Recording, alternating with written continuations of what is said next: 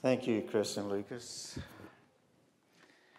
When Chris spoke with me about a week ago, she'd asked me if maybe I could sing that song again. I said, Chris, I'm fighting a bad cold. I don't think I can do it. And I'm glad I couldn't because then we would have missed this. That was wonderful, wasn't it? It's definitely one of my favorite songs. And the chorus in the third verse has a phrase that is so powerful Hosanna, Hosanna, sing, for the night is o'er. Yes, this night will soon be over. I guess most of you know what tomorrow is, right? New Year's Day, along with the dreaded New Year's resolutions. Yeah, we do that. We try to make a new beginning, and sometimes we're successful, and sometimes we fail. But you know what? We serve a God who encourages new beginnings. He gives us each a second, a third, a fourth, a fifth chance. I'm so glad He does because, boy, do I need it. But He is truly a God of new beginnings, and He encourages that. And I'd like to look at a couple examples in the Bible of people who had new beginnings and how God led them through this. We'll start at the very beginning Adam and Eve. Adam and Eve were created perfect in a perfect world. Everything was just absolutely beautiful and perfect and would have stayed that way. They would have lived forever if only they had obeyed God. But unfortunately, the devil met them, tempted them, and Eve fell, and therefore they were subject to death. But you see, God didn't leave them there. God came down into the garden in the even of the day, seeking them out. They were hiding from God, but He sought them out. And then He gave them this wonderful promise of a new beginning that a Savior would be coming, and that through His death, to take the penalty of their sin upon Him, they could then have eternal life. There, at the very beginning of Earth's history, God showed that He was a God of new beginnings. He wanted us to be able to change and to be different than what we were and to become righteous through His power. And so in the Garden of Eden, He gave that wonderful promise that there would be a new beginning available for each one of us. Then we go forward several hundred years. I don't know exactly in the genealogy how long, but we come to the story of Noah. We know that story. Noah was called of God, and he was told, Noah, you need to build me an ark. Now, I'll give you all the directions. I'm the architect of it. I'll give you the directions because it's going to rain. Rain? What's rain? See, it never rained before. But God says, Don't worry about that. You just do what I tell you to do, and I'll protect you and your family. So Noah got together, and for 120 years, he was building this ark. And as he was building the ark, he wasn't just building with his hands and putting nails or pegs, I guess, together in the wood, but he's also talking and he's preaching and he's pleading. He said, The world is going to come to an end. Repent. Believe on God. Turn away from your idols, because we're told that the wickedness in the world was beyond imagination, and God repented that He'd ever made man. I don't know how it can be much more wicked than what we see in the world today, but maybe there's a real parallel there, huh? So, 120 years he was preaching, giving them an opportunity for a new beginning. Repent, turn back to God, turn away from your sins, get in the ark with me, and you can be saved because it's going to rain. And they mocked him. There's no such thing as rain. What do you mean? So, after 120 years, he and his wife and his three sons and their wives and a bunch of animals went into the ark, and the door was closed. You see, there's a choice. The people had a choice. They could either continue to live in the way they were living, or they could have a new beginning. And most of them chose not to avail themselves of that new beginning. It makes me wonder, wonder if some of us are like that. If maybe we are not availing ourselves of the new beginning that God offers because He offers all of us a new beginning. Are we going to accept it, or are we going to be shut out of the ark when the door closes? We think of Abraham. He was well established in the Ur of the Chaldees. He was an important man there. He had his family and his flocks quite content. And then God says, Abraham, I want you to get up. I want you to gather all of your flocks together, all of your family, and I want you to go to land that I'm going to show you. Now, I don't know about you, but if I'm traveling, I get my atlas out, or lately the GPS, and I look and see how I'm going to make that journey, where I'm going to go. I need to know where I'm going to end up at, how I'm going to get there. But Abram didn't do that. He just picked up his herds, his family, and he walked out. And he was led to the land of Canaan because God promised him that he would make of him a great nation. But Abram stumbled a couple times. You remember the story when the famine came upon the land of Canaan? And he went down to Egypt and suddenly he thought, man, my wife Sarah, she is some good looker. I'm afraid Pharaoh may want to take her as his wife, and that to do that, he'll kill me. So he told Sarah, Sarah, just tell you my sister. Pharaoh found out about it, and he kicked Abram Sarah out of Egypt because he deceived him. But he'd lied about his wife. He denied God in that same way. He also doubted God and the fact that God said, I'll make you a father of many nations. He was over 100 years old and he didn't have a son. How could this be? So, with the prompting of his wife, he took Hagar, Sarah's handmaiden, and had a son through her. He doubted God to fulfill his promise. But even though he stumbled, even though he doubted God, and even though he went against God's will, God still gave him a chance at a new beginning. And finally, Isaac was born. Here's the long awaited heir to the promise of God. Oh, he was so happy until God came to one night and said, Abraham, take your son, your only son Isaac, take him up onto the mountain and offer him as a sacrifice to me. I can't even imagine what Abraham went through. But he trusted God so much. He had availed himself of the new beginnings that God had given him. And he trusted God so much that he took his son and he took him up to the mountain and he was ready to sacrifice him until God stayed his hand and saved his son. And God changed his name from Abram to Abraham to tell him that he would be the father of many nations. Abraham took advantage of the new beginnings God gave him and became a faithful servant of God. Then we think of Jacob. Jacob was a con man with the help of his mother, but he was a con man. He had been prophesied that he would actually rule over his brother Esau, but he didn't see that happening. So when Isaac was getting old and about ready to die, he knew that he was going to bring Esau in and give him the birthright, which gave him the leadership of the family, along with the financial, as long as the physical properties. And he said, I want that. So he conned his father by mixing a stew and putting on skins from animals because Esau was very hairy and Jacob was smooth skinned. And he went in and he conned his father and received the birthright. Because of this, he was chased out of his home because Esau threatened to kill him. And he went and he stayed with his uncle Laban. And there the con was turned against him. He worked seven years for Laban for the, his daughter Rebecca. But was it Rebecca or Rachel? I get those two confused a lot. so, anyway, it was Rachel. And then Laban gave him Leah instead.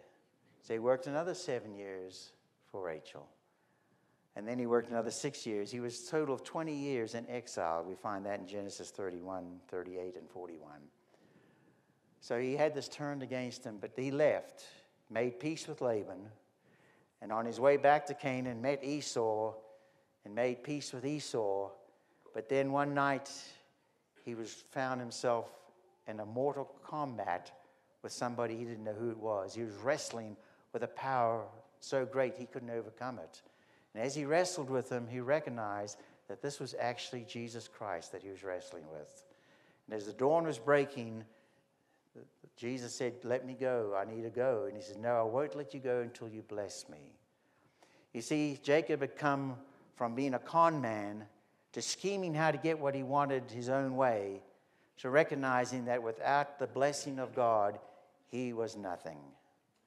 And so God gave him a blessing and changed his name and said his name is Israel, a prince among men. He took avail of that new uh, beginnings available to him. How often maybe we continue on our life thinking we can do things our own way, we can make it work our own way, but we find out that we can't do anything. There's a country song, a gospel song, that says, I thought I was a real big man. I could do anything I wanted, but I can't even walk without holding your hand.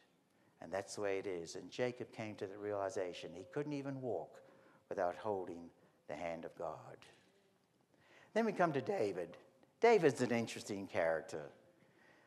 The youngest son of Jesse, looked down on by his brothers. He's just a little squirt. You don't need to worry about him. He's out tending his sheep when Samuel came. And God told Samuel, I want you to anoint one of Jesse's sons to be king of Israel because I have rejected Saul, because Saul has rejected me. And so all the sons of Jesse passed before him, but God said, No, not him, not him, not him. Finally, they'd all gone, and Samuel said, What now? And he turned to Jesse. He said, Did you have another son? He said, Yeah, we got David down there. He's tending the sheep. I mean, he's not much of anything. But God spoke to Samuel and said, That's the one I want. And he brought David up. David was anointed to be the king of Israel. And he went through quite a trial period before he was anointed king. And he was a good king. He did a lot of good things. But even the best of us, even the ones of us that do good things for God, we can be tempted. And David was tempted one evening as he stood up on the roof and looked over and saw on the other roof this young lady taking her bath, and she was beautiful to look at. And David fell to temptation, and he took Bathsheba and took her to bed, had sex with her, and then he realized he'd made a mistake. But then he thought he could cover up the mistake. And so he called Uriah the Hittite, who was Bathsheba's husband, and brought him back home and then afterwards gave him a note and sent him back and told the captain of his host to put Uriah at the very forefront of the battle so he'd be sure to be killed. And he thought that way his sin would be forever hidden. But we don't hide our sins from God. He brings them to us because he wants us to repent of them, and he used Nathan the prophet to do that. Nathan the prophet came to David and he said, You have sinned greatly. Gave him a parable of people with a couple of lambs and one with a lot of lambs. And he said, You are the one who sinned. To David's credit, he recognized that he'd sinned and he needed a new beginning. If you ever feel that you need to read something that will give you the essence of true repentance, I recommend Psalms 51. This was David's prayer of repentance. I actually have a sermon where I break it down piece by piece of what it means. But David prayed that God would forgive him. And in verse 10 of Psalms 51, David cries out, Create in me a clean heart, O God, and renew a right spirit within me. That actually is supposed to read, Create in me a new heart, O God, and renew a constant spirit within me. See, David didn't want what I would call a yo yo Christian experience. You up one time and then you're down in the depths. Then you up one time, you're down in the depths. He didn't want that. He wanted a constant experience with God. He wanted to stay with God all the time. You've heard me talk several times about one of the greatest comforting passages of Scripture that I know of is the last four verses of Romans 8, where Paul asked the question is there anything that can separate us from the love of God? And he goes through all these different things. Can this separate us? Can this separate us? Can this separate us? And then the last verse, he says, I am persuaded, I'm convinced, there's absolutely no doubt in my heart that nothing can separate us from God. Nothing on this earth, nothing in heaven, nothing can separate us from God. And that's what David wanted. He wanted that close connection with God that nothing, absolutely nothing, would separate him from the love of God. And that's what we all want. But we have to pray the prayer, prayer of repentance. We have to have a new beginning when we can achieve that. And God will never let us down. He will give us that new beginning, and He will give us that confidence of His love. And then one of my favorite people in the Bible, and not just because my brother's got the same name, because he's got some of the same characteristics too, but Peter is a fun character to study. You know, I've always said that Peter's creed before his conversion was open mouth, insert foot. Because he did. He would speak or he would act and do stuff impetuously without thinking about it. And it always got him in trouble. You remember the story of Matthew 17? Some people come up to Peter and he says, Peter, does Jesus pay tax to the government? Oh, well, sure he does. Yeah, no question. You guys think, hmm, maybe I better check. You see, Matthew is a tax collector. He'd know all about how we do taxes. And, oh, but you know, Judas, he's, he's the treasurer. Maybe I should ask him if we pay taxes. But no, I think I'll go ask Jesus personally. So he goes to Jesus and says, Do we pay taxes? And Jesus What, you know, Peter? Does the king of a country pay taxes to his own country? In other words, I'm the king of the world. Why should I pay taxes to the world? But just in case we offend them, I want you to go do something. You're a fisherman, so go down to the sea, take your line, put some bait on it, throw it out, and catch a fish. Peter said, Well, you know, I'm more used to catching fish with nets, but anyway, I'll give this a try. So he goes out and he throws his line out. Sure enough, catches a fish. He reels it in. Ernie knows all about catching a fish, right, Ernie? yeah. So he opens it. But Ernie, have you ever caught a fish, opened his mouth, and found a gold coin in it? No, I haven't either. But that's what happened. Peter caught this fish, and there was a gold coin in it, and that was just enough to pay taxes for Jesus and the disciples. But you see, he spoke before thinking, but God bailed him out. But then also, as we get down to the story of Christ's arrest and crucifixion and resurrection, they're in the upper room. And God is, Jesus is talking and he's telling somebody's going to just betray me before this night is over with. And oh, no, no, nobody could do that. And yeah, and then he turned to Peter and he says, Peter, Satan desires you. And we find this in Luke 22. He says, Peter, Satan desires you and he wants to shift you to like wheat. But I have prayed for you. Wow. Jesus prayed for Peter. But you know, Jesus prays for each one of us in a way too. And he says to Peter, When you are converted, and I'm sure that hit Peter between the eyes. What do you mean when I've been converted? I know that you're the Messiah.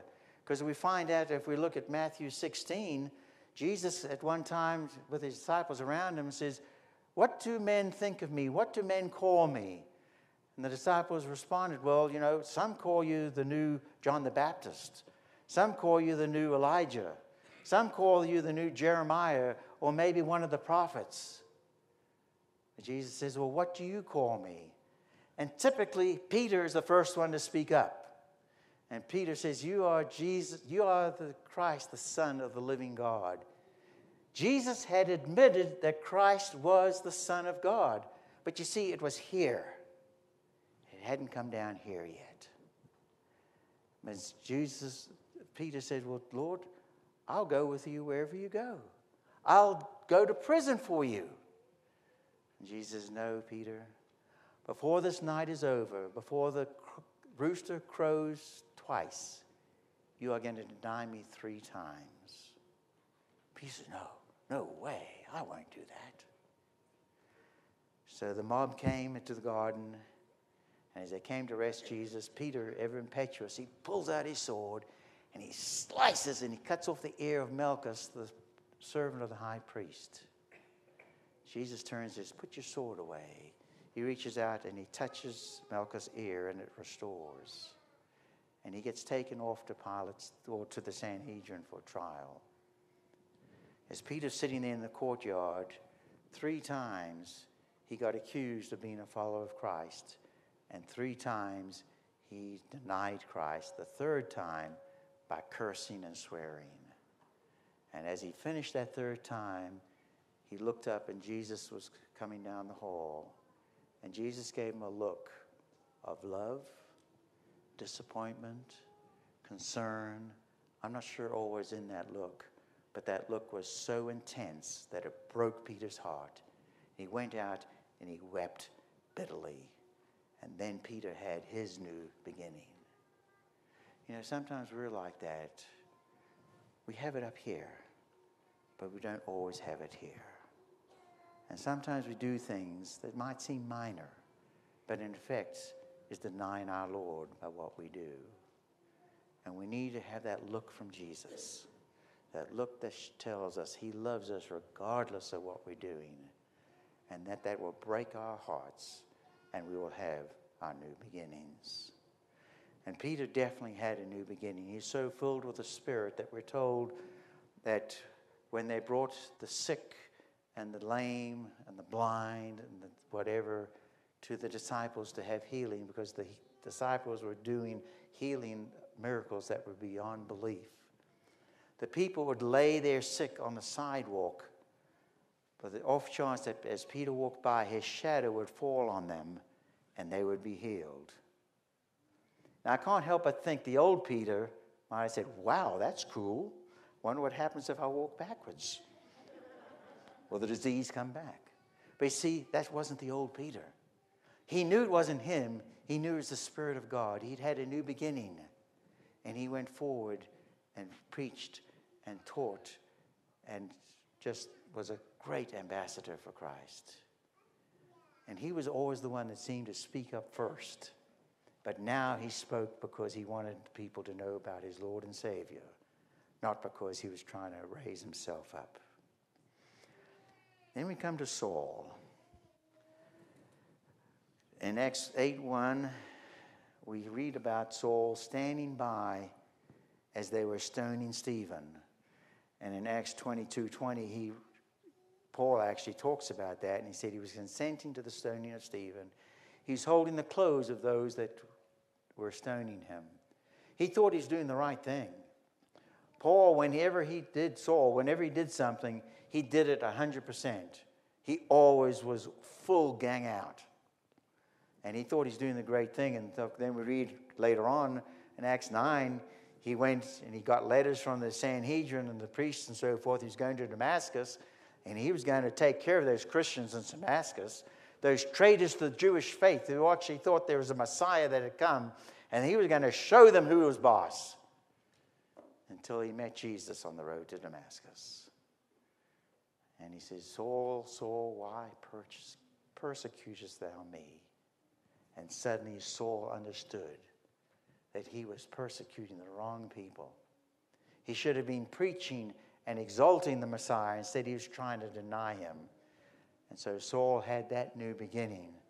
And it took him a while to get some of his thinking back in line, but he became a great ambassador. And not only that, his name was also changed, and his name was changed to Paul. And he became a great ambassador for God. But you see, at the beginning of the sermon, I said that God encourages new beginnings. That's not the total story. God not only encourages new beginnings, but he demands new beginnings. Remember the story in John 3 of Nicodemus? Came to Christ that night. He says, What must I do to be saved? And God said, Man must be born again in order to enter the kingdom of God. Nicodemus says, Whoa, whoa, whoa, whoa, whoa, whoa. What do you mean? I mean, I got to go back into my mother's womb and be born again? And God said, No, no, no, no. Man must be born of the water and the spirit to enter into God's kingdom. Born of the water means our physical birth. We've all gone through that, else we wouldn't be here, right? But born of the Spirit means the new beginnings. We've got to be born of the Spirit. We've got to have a new beginning. We've got to be, be changed in order to be worthy to come into Christ's presence. But how do you do that? It's one thing to say something, but how, how does it take place? In John 14, Jesus is preparing his disciples for his departure, and he's telling them that he will be sending the Comforter when he leaves in order for them to continue to grow in his, in his spirit. And in John 14, verse 26, it says that he will send the Holy Spirit and he will teach them all things. So you see, he didn't leave them without something. The Spirit is coming and he's going to teach them. He's going to teach them how to live in the Spirit. He's going to teach them how to take that new beginnings and grow with it, not to stay where it is. But He's going to give them the ability, He's going to give them the resources to grow.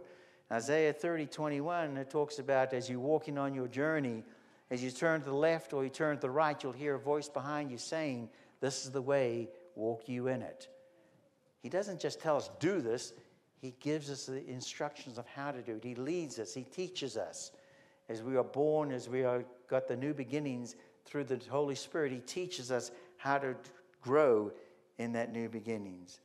And He'll never leave us just flapping in the wind.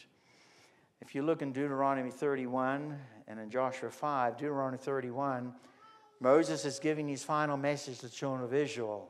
And he tells them, Do everything the Lord commands you, and he won't leave you, he'll stay with you. And Joshua 1, Joshua's out meditating and praying because he's suddenly he's got this burden of leading this great group of people and he sees somebody standing in front of him and he realizes that it's actually Jesus Christ there talking to him and he says be a strong good courage. Don't be afraid. I'll never leave you or forsake you. And when Paul is talking about that in Hebrews 13:5 he says he's always said that he will never leave us nor forsake us. He'll always be there with us to teach us, to guide us, to lead us, and to bring us into His kingdom. In Matthew 28, verses 18 through 20, which we call the Great Commission, as He's talking to His disciples, He's telling them to go forth and to speak to others and to make disciples of others, take the gospel to the world. And lo, I will be with you always, even unto the end of the world. You see, God doesn't send His Spirit to us 9 to 5, Monday through Thursday, Monday through Friday. He's there always. It's a 24 7, 365, 2,000 some years. You know, He's with us. He's always with us. Why does He do us? Because you see, God's goal for us is to be among the redeemed and, and to enter into heaven. Our scripture this morning Jeremiah says, I know the plans I have for you plans for you to prosper, plans, plans for you to grow. See, that's his plan. He wants us to grow and he wants us to prosper, not only in this world, in the physical things, but more importantly, in the spiritual world. In Ephesians 1 4 through 5, we're told that we were chosen from the beginning of the world. We were predestined to be adopted into the children, as children of God. Isn't that amazing? We were predestined to be adopted into God's kingdom even as we were born. That's His plan for us. As we, can, as we grow in Christ and as we become more and more aligned to His will, we can say with uh, Paul as he's talked to Timothy, and that's 2 Timothy 4. I need to pull that up here. 2 Timothy 4, verses 7 and 8. Paul, at the end of his life, makes the statement For I have fought a good fight, I have finished my course, I have kept the faith. Henceforth, there is laid up for me a crown of righteousness, which the Lord, the righteous judge, shall give me at that day, and not uh, to me only, but unto all that love his appearing. That is God's goal for us, to give us a crown as he comes back to earth for us. But each day, as we work with our daily activities, as we spend time in the Word, as we get closer and closer to Christ through these new beginnings, we can truly say that each day we are marching to Zion, that beautiful city of God.